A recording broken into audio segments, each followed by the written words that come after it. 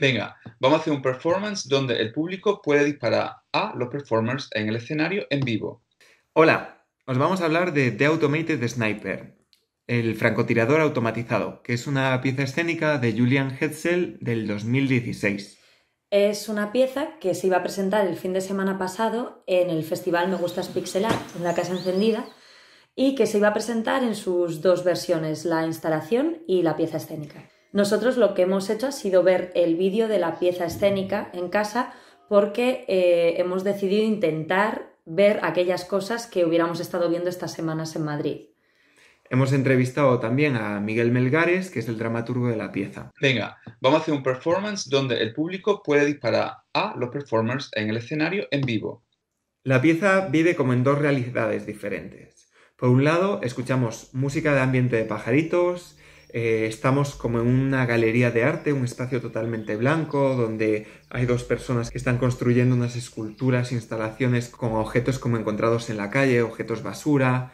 Esto eh, se ve intercalado con una voz en off que nos explica que lo que estamos presenciando es un videojuego y que lo que vemos es el escenario del videojuego al que vamos a jugar.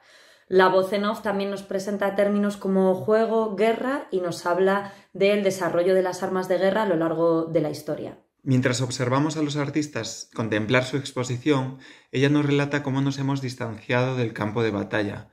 De usar nuestros puños pasamos a usar cuchillos, luego espadas, lanzas, arcos, catapultas, pistolas, bombas, misiles y hoy en día drones. Mientras en la realidad del videojuego se nos describe el arma con el que vamos a jugar, en la galería, mientras tanto, los artistas están descorchando una botella de champán para celebrar la inauguración.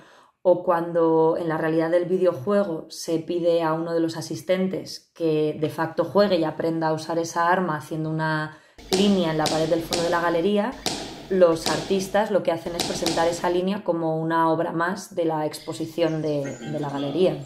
En un momento también nos presentan las instalaciones o esculturas, pero en la realidad del videojuego esas tres instalaciones son en realidad infraestructuras del, país enemigo que tienes que destrozar. Ese cubo de agua pegado a la pared es en realidad un depósito de agua de la base enemiga y la otra es una torre de telecomunicaciones y la otra es un monumento a un líder.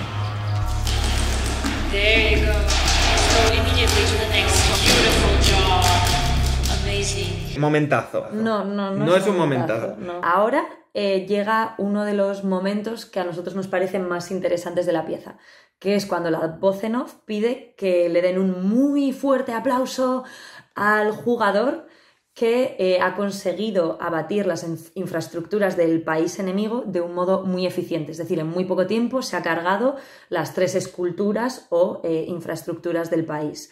Y el público, de hecho, aplaude. Claro, la sensación eh, para nosotros es de, wow, la gente no, no se ha dado cuenta de lo que acaba de pasar. Quizá también sea porque estamos siendo públicos del público, ¿no? Esto nos remitía también, en cierto sentido, al concepto de desnivel prometeico que, que propuso Gunther Anders en relación a los crímenes nazis. Con el desnivel prometeico a lo que se refiere es a la falta de conciencia que nos permite la distancia que hay hoy en día entre un acto insignificante y las terribles consecuencias de este, acto. Puedes apretar un botón desde un avión, que es un acto insignificante, pero desde ese avión dejar caer una bomba que mate a miles o millones de personas, ¿no? Y entonces eso también, esa distancia que hay entre un acto y sus consecuencias es lo que posibilita eh, nuestra inconsciencia. Lo que sucede es que nuestra imaginación se ve desbordada y es incapaz de, comprender siquiera las consecuencias, ¿no? de, anudar eh, un acto con otro. Lo que es también fuerte de esto es que abrió la veda a luego empezar a disparar a los performers. además son balazos de verdad, balazos de paintball que, duelen. Entonces nos, nos, interesaba preguntarle a Miguel si alguna vez algún espectador había boicoteado la pieza y qué opinaban cuando eso pasaba. Estábamos en, em, en BP Simmer y estábamos haciendo un tryout, ¿ok? Estamos haciendo un ensayo sobre cómo funcionaba el mecanismo. Y ya estábamos con los performers, ya estábamos con, con, la Mari Morena, pero claro, pero todavía la pieza no se conocía, de modo que la gente como que eh, eh, tenía un primer impacto fuerte. Entonces íbamos, guiando, íbamos eh, dando instrucciones y hay un momento donde se pasa de eso, de, ser un, juguete, un juguete muy divertido, de buenas a primeras, ¡pum! ¡ah! ¡pum! y explota, ¿no? El color, o y hace un pequeño destrozo y, y dispara al objeto y es muy divertido, y te dispara tu propia cara y es muy divertido pero llega un momento donde tienes que disparar a las personas y eh, la gente se bloquea. O algunas personas se bloquean. Hay personas que van con el, con el rumbo puesto, que saben que van a por ello, pero otras personas que no son muy conscientes de qué es lo que está pasando. Y hay gente que genera una resistencia intensa a ese momento. Y esa resistencia es poesía. Bueno, después de este momento, cuando ya han destrozado todos los objetos que hay en el espacio, ya han disparado a los cuerpos que hay en el espacio, como nos parecía que ya eso podría ser el final. Y también pensando que la versión en instalación, o sea, la, la, pieza era una versión escénica y una versión en instalación, consistía en simplemente tú como espectador tienes una experiencia jugando al videojuego y luego descubres que lo que estabas disparando era de verdad en vez de tener toda una dramaturgia como es en esta versión. Nos parecía eso, como que el resto era un plus, plus, plus. Lo que viene después de esto es una conexión con un gamer profesional que está en Irak, es una conexión en directo, y lo que hace él es, como ha hecho el público, ponerse a jugar, pero profesionalmente, o sea, eh, muy, muy eficientemente.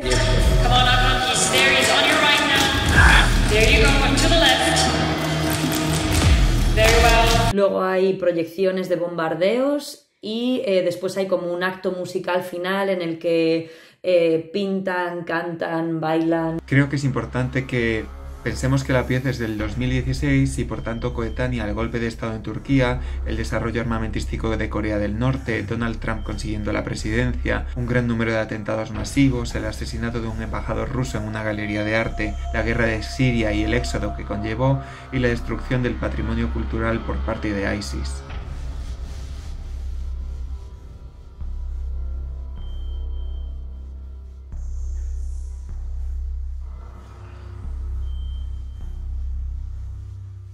Luego le preguntamos a Miguel sobre este, esta idea del plus, plus, plus, de por qué siguieron añadiendo escenas.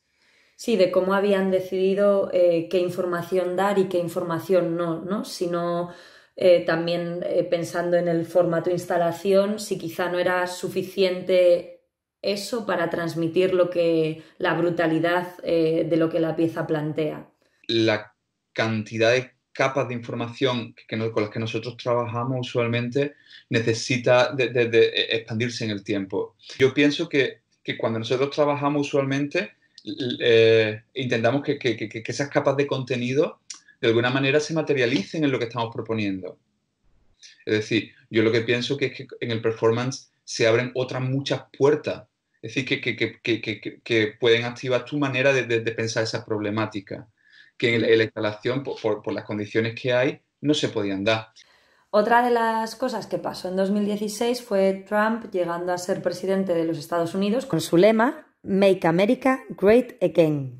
Y una de las cosas que pasa en este último acto musical del que os hemos hablado es que una de las personas que está en escena escribe en un muro, en el muro, Make Art Great Again y también cantan una canción que dice Flores en mi corazón, la pistola automatizada, ella solita dibuja una paloma de la paz en la pared y esto a nosotros nos dejó un poco eh, desconcertados, ¿no? como un poco perdidos. No sabíamos si era muy bien como un canto a la esperanza naif o, una crítica irónica de aquellos que piensan que el arte va a cambiar el mundo. Claro, porque al mismo tiempo durante la pieza no nos han mostrado un mundo del arte interesante, abierto, social, amable, que, que te invita a ser parte, sino al contrario, ¿no? Los artistas casi no se hablan, cuando hablan parecen que compiten entre ellos, incluso tienen una relación de violencia física en una escena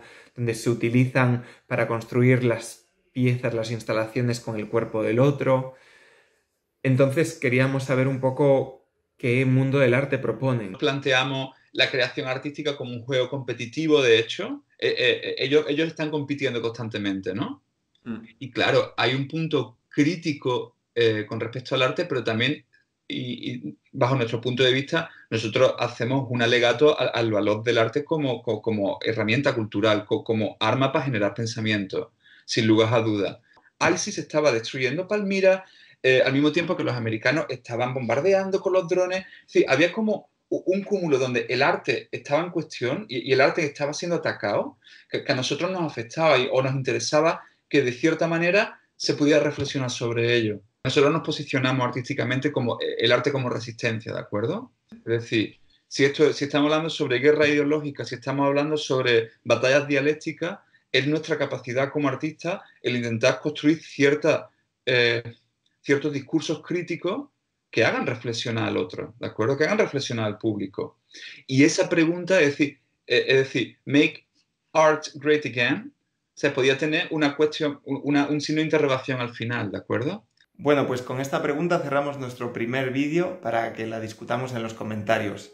Y estad atentos porque el siguiente llega en unos días. Y si os han entrado ganas de ver la pieza completa, que esperamos que sí, escribidnos y encontramos el modo de hacerosla llegar. Chao. Hasta pronto.